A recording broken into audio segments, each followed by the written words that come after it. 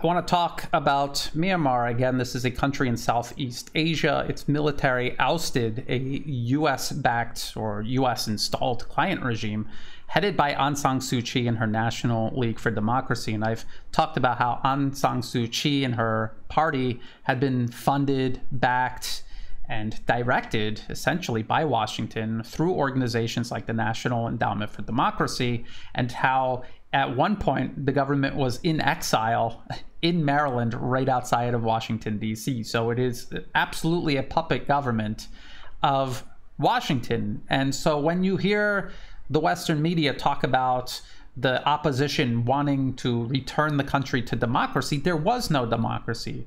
Democracy is a process of self determination. Everything about the government ousted in Myanmar back in February of this year is being determined in Washington. So this has nothing to do with democracy. This has to do with the US putting a US client regime into power in a country that borders China and in a country that uh, was a key player in the Belt and Road initiatives. This is what's going on in Myanmar. And I want to do this video because I want to show you just how dishonest the Western media is in reporting this. So let's take a look at this New York Times article.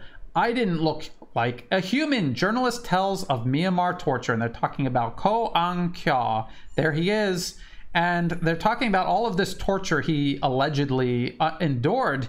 But then right down here it says the New York Times could not independently corroborate the specifics of Mr. Aung Kyaw's treatment. And then they say, but reports of torture in custody have been widespread since the military seized power in a February 1st coup. Uh, reports of torture in custody have been widespread. What kind of reports? Other reports that the New York Times and others could not verify.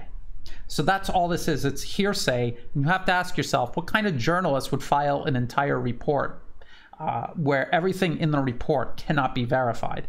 Is that journalism or is that propaganda? Now, I want to show you some other things in this uh, New York Times article that kind of reveals that this is nothing but deliberate propaganda. If you come down here, it says Mr. Aung a video journalist for the Independent Democratic Voice of Burma. Democratic Voice of Burma is not independent, has been funded for over 20 years by the National Endowment for Democracy, the US government. They would not exist without this US government funding, and they don't report news.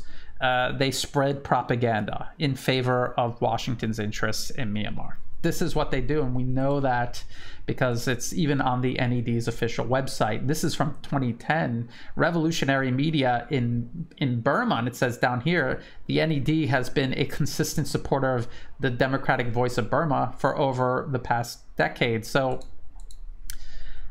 and and the people from DVB are always in Washington hanging out with the National Endowment for Democracy. It's a very cozy relationship. It's not independent in any way. It's an extension of the U.S. State Department. Its its media efforts in Myanmar are being overseen by organizations like Democratic Voice of Burma, the Irrawaddy, uh, Myanmar Now. If the New York Times didn't do any background checking for Democratic Voice of Burma and just said it was uh, media organization that this guy was working for, you you might be able to let it go. But they had to go and put the word independent. This was very deliberate. If you're saying it's independent, it means you know who funds Democratic Voice of Burma and you know that they're independent.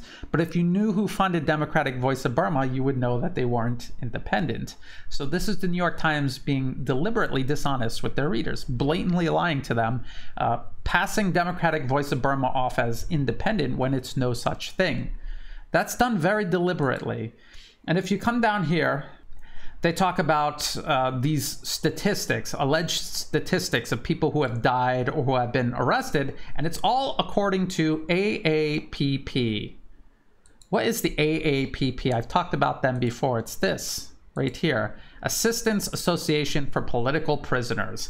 And it's not even based in Myanmar, it's based in Thailand, right across the border in Thailand. And the founder and joint secretary of the Assistance Association for Political Prisoners, AAPP, is Mr. Ko Bo Kyi. There he is. He's a fellow at the National Endowment for Democracy, and the National Endowment for Democracy funds his organization, AAPP. So, do you think it's a coincidence that the New York Times uh, brought up two two organizations funded by the US government through the National Endowment for Democracy and just never thought of mentioning that that fact that they're both backed by the US government. And what does this tell you about the New York Times' coverage of the situation in Myanmar? It tells you they're trying to spin it, they're trying to cover up the US government's involvement in this. They want you to think that this is a some sort of democracy movement, some sort of process of self-determination and the people in Myanmar yearning for democracy when in reality it's the US government trying to get their puppets back into power.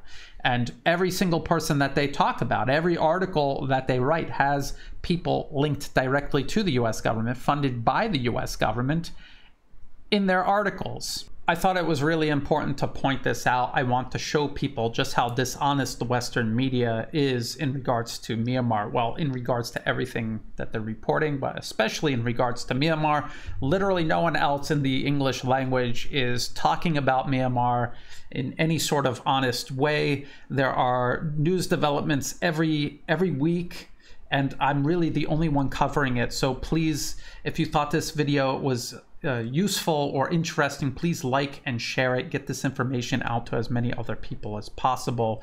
Uh, try to get more people talking about this because they get away with these things when no one's pushing back. They could say anything that they want about Myanmar and they will get away with it because there's literally no one else out there speaking up about this, not in English, not that I've seen. So please like and share this video. Think about subscribing. It helps the channel grow. It's totally free to do. Check out my website, newatlas.report. Bookmark it, share it with others. There's no paywall. There are no ads. There never will be. You can find and follow all of my work there. I'm also on Twitter for the time being at Brian underscore Berletic. I'm also on Weibo, and you can find the links to all of these uh, down in the video description below, along with all of the links that I just talked about in this video. Also in the video description are ways you can help support my work and to everyone who has been, whether it's once a month through Patreon or through one-time donations, or even if you are just sharing my work with others, I greatly appreciate that. I could not do this work without the support of my audience, so thank you. And as always, thank you for watching.